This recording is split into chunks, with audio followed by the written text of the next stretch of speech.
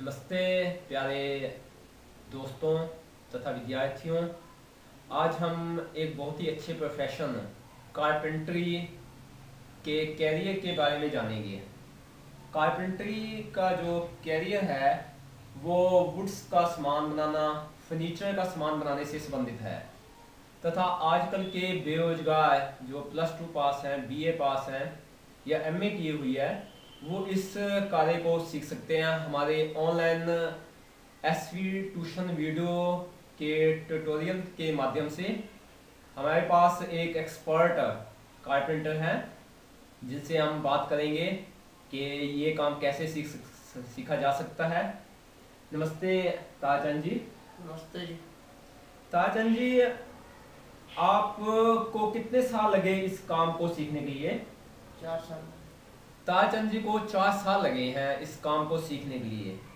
यानी इसकी जो मैक्सिमम जो एजुकेशन है चार या पाँच साल में आप ये काम सीख सकते हो।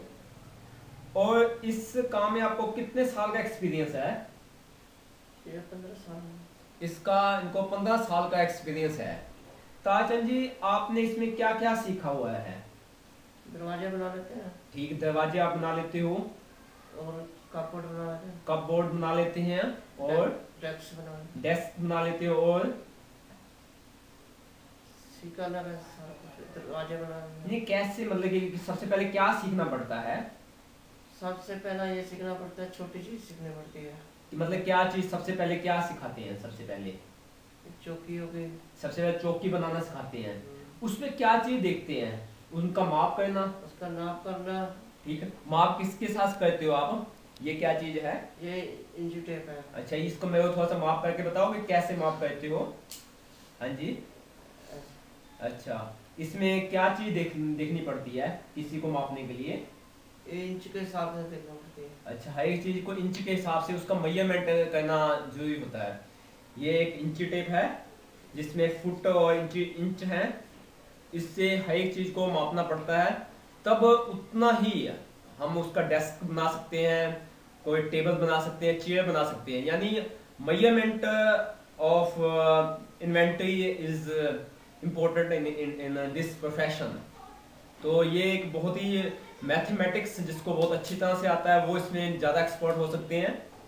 और इसमें क्या क्या आपके औज़ार हैं? ये बताइए ये क्या चीज़ है? ये है आरी। हाँ जी ये ये क्या काम आती है? ये लकड़ काटने के लिए आती है। थोड़ा सा बताओ कि कैसे इसको काटते हो? ऐसे रख के ना ऐसे। ठीक है इस इस तरह से रख के। ये थोड़ा सा टेढ़ा चला जाए तो क्या कर, करोगे? फिर सीधा पकड़ के लगाना है। मतलब सीधा आपने लगाना है इसको मतलब सी, सीधा लाइन में। सीधा लाइन में ठीक है। तो ये क्या ये ये किस काम के लिए आती है? है ये हथौड़ी होती है। अच्छा इसका क्या काम है?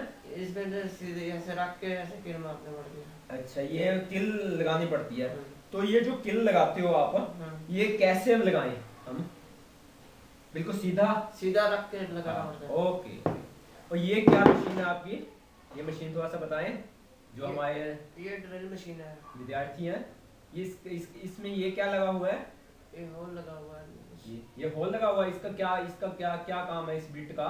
बिट का काम होता है इसको सुराग निकालना पड़ता है। ये किसमें सुराख ये निकालते हो आप? लकड़ में। अच्छा मतलब कि ताले तुले लगाने के लिए। इसके अलावा कोई और भी इसका काम ले सकते हो आप?